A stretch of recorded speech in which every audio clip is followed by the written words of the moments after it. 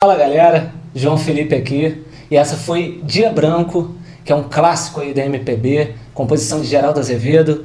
E se você gostou dessa música, gostou desse arranjo, você pode aprender ele da forma que eu toquei, tá? Exatamente como eu toquei aqui, escrito na tablatura e com a aula explicando cada trechinho aí, tá bom?